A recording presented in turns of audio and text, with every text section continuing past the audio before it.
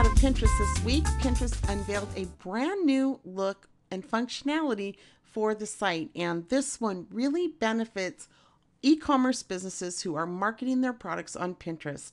I'm Lisa Suttora. This is an episode of Pinsider Tips, and in this video, I'm going to show you some of the powerful changes that Pinterest has made to the functionality and the marketing possibilities that they've introduced as a result of this brand new rollout. Now, the first thing you're going to need to do is you're going to switch over to the new look for Pinterest. In order to switch to Pinterest's new look, you're going to come to this page here. The URL is on the screen, and you're going to click here to get Pinterest's new look. This is going to convert your Pinterest account to the new Pinterest look. So what's changed here in this new Pinterest layout? Well, you still have the basic Pinterest pin layout here with your primary pins being shown for the people that you're following upon login. Over here on the left hand side, you have your recent activity, and at the very top, Pinterest still displays any group board invitations that you may have received. Now, here's where things change a bit. You'll notice that Pinterest used to have the categories up here on the top menu. The category tab has been moved over here Simply mousing over this will drop down the list of categories. Now you can just scroll through this list. Here we have the popular page, which takes you to the most popular pins that are currently displayed on Pinterest. We have the video link, which takes you to the Pinterest video category. You can actually take a YouTube video, pin it to Pinterest, and actually get more activity and more interaction on the video when it's pinned to Pinterest than if you left it only on YouTube. Here's the gifts category. This is the category where you can put a price banner on your Pinterest pins and you'll see here that the price banner has changed. Now, I really like this change. The old version had a price banner that went across the left-hand top corner.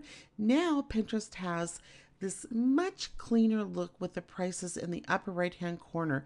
This is a very, very good change because not only does it help to emphasize the image, but it gives it a much more sleek catalog feel. And one of the things we know about Pinterest is that people come to Pinterest looking for specific gift items. Now, one of the questions I get frequently asked is Should I put a price on my pin if it's a product that I'm trying to promote in my online store? The answer to that is yes and no. You want to mix it up. You want to have pins that have prices on them and pins that don't. The reason being is that when someone comes to your Pinterest board, if you have a lot of your products from your online store and everything has a price, all of a sudden it gets a lot more of an advertising feel. Pinterest is about high quality content. And so when a visitor comes to your Pinterest board, they don't want to feel like they're looking at your online store. You want to have some pins with prices, you want to have some pins without, so that when someone comes to your board, they see a variety of pins with and without prices. Now, one thing change that Pinterest did make that I'm not as excited about is this gift category used to be sorted by price. You used to be able to sort by pins 0 to $50, 50 to a $100. Now, as you can see, the gift category showcases all pins that have been listed with a price, but there is no particular grouping on a price point basis. So I wish they had kept the categories for prices. It makes it easier for people to shop. However, putting the price in the upper right hand corner is definitely an improvement in the look and feel of the pin. Now another change you may have noticed throughout this entire video is that the pins are now bigger and crisper. The resolution on the images is much brighter, it's much clearer, it really pops off the page, and the overall size of each pin is bigger. This only serves to enhance the power of Pinterest visual marketing. Pinterest is really amping up their marketing features for business accounts. And another thing that they've done that I really like is they're cross promoting your board. So take a look at this. This is a brand new pin that I just pinned. This is, uh, as you can see, a much bigger, taller, brighter image than it would have displayed in the past. Now, when someone comes and clicks on this image, what it's going to do is enlarge the image and take a look at this. First of all, on the right hand side, This is my trends board. So this is where I showcase all the product trends that I find across the web. From a marketing standpoint, this is hugely important because now Pinterest is visibly promoting my trend so that potential followers, potential customers can easily see whether or not they want to follow my board. This is huge for customer acquisition and for lead generation.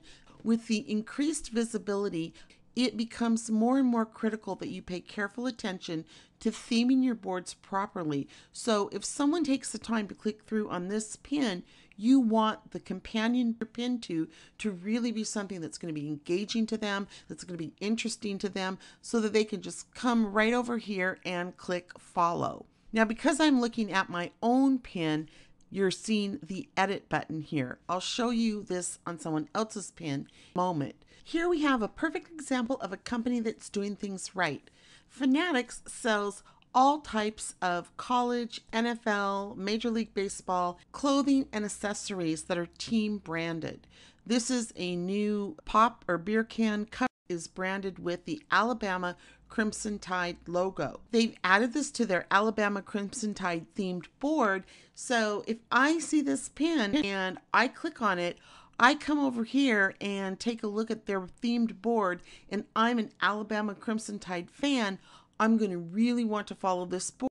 It's very clear to me that I'm going to find lots of cool products and pins associated with my favorite team. So, this is the approach that you really need to think through and make sure that you're doing your boards and theming them properly in light of this new emphasis on cross marketing your pins with your associated boards. To learn how to theme your boards, set up your Pinterest presence to market your online business, and get your complete Pinterest marketing strategy, check out our Pinterest for e-commerce video series at pinterestforecommerce.com.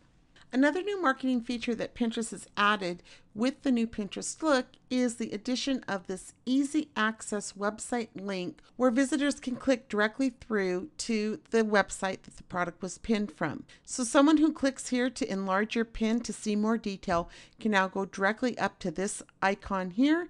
They can click this link and it will take them directly to the page where this pin was originally pinned from. Now, in this situation, I pinned this pin from Pop Sugar. If you pinned your product directly from your online store, eBay, Amazon, or from your website, that link would take visitors directly to your product page. Are a couple stipulations if you're pinning products from Amazon to be able to get people directly to your product page.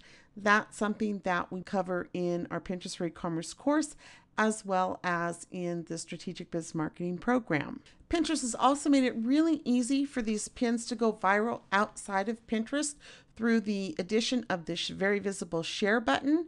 Visitors to this pin now can mouse over the share button and they can post this pin on Twitter, on Facebook. They can email it, which is excellent for people who want to email something directly to a friend that they think could be interested in this pin in whatever product it is that they're looking at and you can also embed this pin in a website. Pinterest is really, really getting it and taking some big steps when it comes to helping businesses market their products on Pinterest. Now, coming down here, if you have other pins that you've pinned from your website, they're going to be displayed here in this bottom box. So this is a baby diaper cake that I pinned from a website called the Blue River Baby Shop. Blue River Baby Shop is a, a client of ours, and they do custom designed diaper cakes.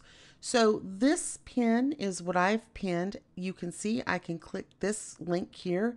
It takes me directly to the product page so that someone can see this pin on Pinterest and go directly to the product page and they can purchase this diaper cake. Now, take a look at this. Down here, other pins from the Blue River Baby Shop. Well, you can see that people obviously love this design because other people have pinned this ahead of me. You can also see some of the other designs from Blue River Baby Shop that have been pinned to Pinterest. And so this is a powerful, powerful marketing feature that Pinterest has just implemented because now all you need to do is get that one pin out there and other pins that have been pinned either by you or by other people on Pinterest are going to be cross marketed on this board. So, this is a huge feature that Pinterest has implemented to really help brands and businesses promote their other products that they're pinning to Pinterest or that their customers have pinned to Pinterest. Now, you'll also notice when I mouse over a pin, the pin it, pin it button is now much bigger and much more visible, as is the edit button. And of course, I'm seeing the edit button on this pin because this is something that I pinned. If I move over here, you'll see again that Pinterest has enlarged the repin it button and the like button to really call attention for people to take action. We know that Pinterest users are much more engaged and take more action on the content that they see on Pinterest than people do on any other social network. So Pinterest promised some great new business features to help businesses and brands market their products, their services, build their brand, make their products and their pins go more viral, and they are delivering. I'm really excited by what we've seen so far, and this is just the beginning of what we're going to see Pinterest roll out in the coming year. Using Pinterest for your e commerce marketing is part of the rise of the visual web. This is the direction of the future for marketing products online. If you want to learn more about how you can benefit from marketing your business on Pinterest, go to www.pinterestforecommerce.com to find out how this powerful tool can help you get more customers and make more sales. This is Lisa Suttora for pinterestforecommerce.com. We'll see you in our next episode of Pinsider Tips.